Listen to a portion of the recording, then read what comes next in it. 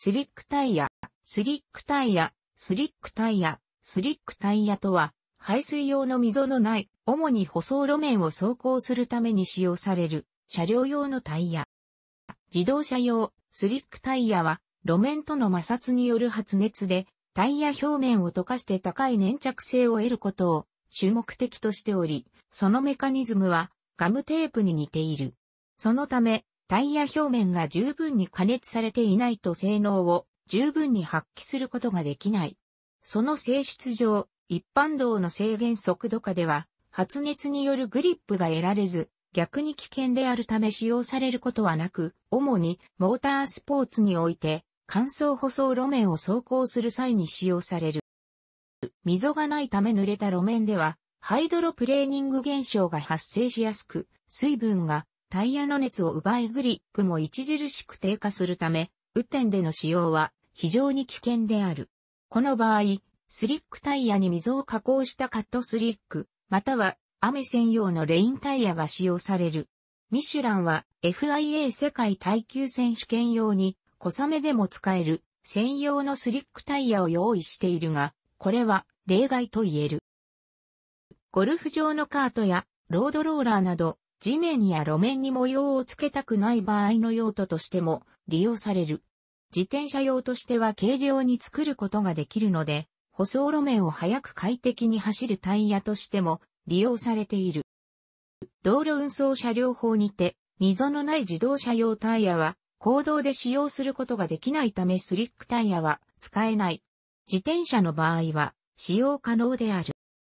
路面状況によって性能が著しく変化するため、レース戦略やレーサーの好みに応じて、レースにおいては複数の種類が運用されることが多い。これらは長時間走行性維性能や短時間における走行性能、路面の舗装の違い等に対応し、様々なものが使用される。短時間のグリップ性能を追求したタイヤは非常に柔らかく、アスファルトの上を走行することによって、まるで消しゴムをかけるように簡単に表面がえぐられていく。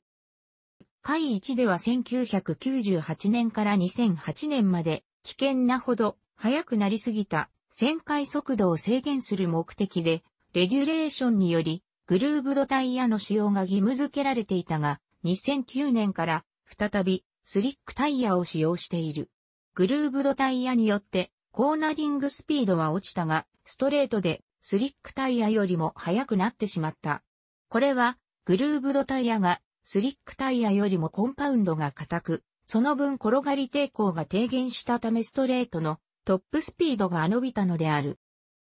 またタイヤ競争が激化していた時代には、各カテゴリーにおいて予選用に寿命は極端に短いが非常に高いグリップを得ることが可能な予選用タイヤ、旧タイヤなども用意されていた。しかし、寿命の短さを考慮して、タイムアタック以外の周回に著しくペースダウンして、タイムアタック周回に最大限の性能を得ようとする行動がタイムアタック中の車との速度差を助長して、非常に剣であったことから、徐々に旧タイヤは廃止されていった。現在では、予選と本線で同一のタイヤを使用することを義務付けたり、予選と本線を通じて使用できるタイヤの種類、コンパウンド時を指定したりと、旧タイヤが存在できないようにしているカテゴリーが多い。スーパーバイク世界選手権は、スーパーポール用に専用の旧タイヤが用意される珍しいレースである。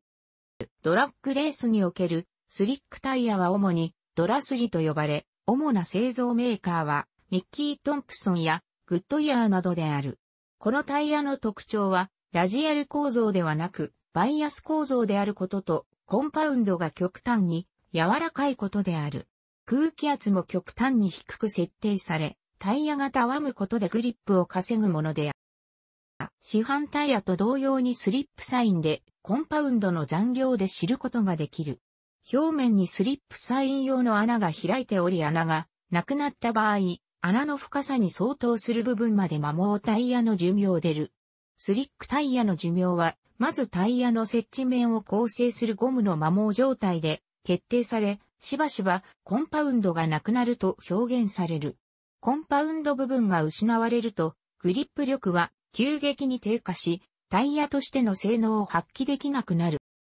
競技中に異常な発熱により、タイヤ表面が沸騰して気泡ができてしまうことがある。これは、ブリスターと呼ばれ、タイヤの性能は劇的に低下し、ほとんどの場合に交換を余儀なくされ、そのまま走行を続けると、バーストなどを起こす危険がある。一度使用して高温にさらされたタイヤは、表面の素材の組成が変化することとなり、これがグリップ力の低下を招く。このため、コンパウンド自体が残っていても、すでに本格的な競技には使用できない場もある。逆に、適切な温度で一度表面に熱を入れて、表面の組成を意図的に変化させることで、ブリスターの発生を防ぐことができる。モータースポーツではこの行為を皮むきと呼ぶ。このほか、グリップ力がタイヤ表面の素材によるところが大きく、製造後時間が経過しているものは未使用であっても劣化により性能を発揮できなくなる。これは他のタイヤにも言えることであるが、高性能を要求される競技用タイヤの場合、これはしばしば賞味期限などと呼ばれ、この期間は極端に短い。なお、タイヤ表面に吹き付けて古いタイヤのグリップ力を取り戻すタイヤソフナーと呼ばれる薬剤は、多くの公式競技ではタイヤの加工の一種とみなされ禁止されている。あくまで競技用タイヤであり、しかも一部の競技でしか使用できないことから、スリックタイヤを一般に流通させる必要性はなく、また法律上は、行動で使用可能な S タイヤと違い、装着して行動に出ること自体が違反となるタイヤである。このため日本では、流通自体に自主規制がある。こうした自主規制により、一般の消費者が容易にスリックタイヤを入手、使用できないようになっている。しかしそのため、S タイヤより安価に入手できるという、一見おかしな現象も起きている。楽しくご覧になりましたら、購読と良いです。クリックしてください。